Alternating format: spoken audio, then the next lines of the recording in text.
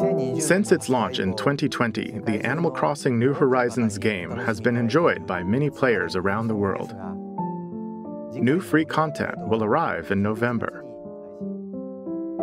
In preparation for its release, we will be airing an Animal Crossing New Horizons Direct in October. In it, we'll go over the content in more detail. Please be on the lookout for the air date of this presentation.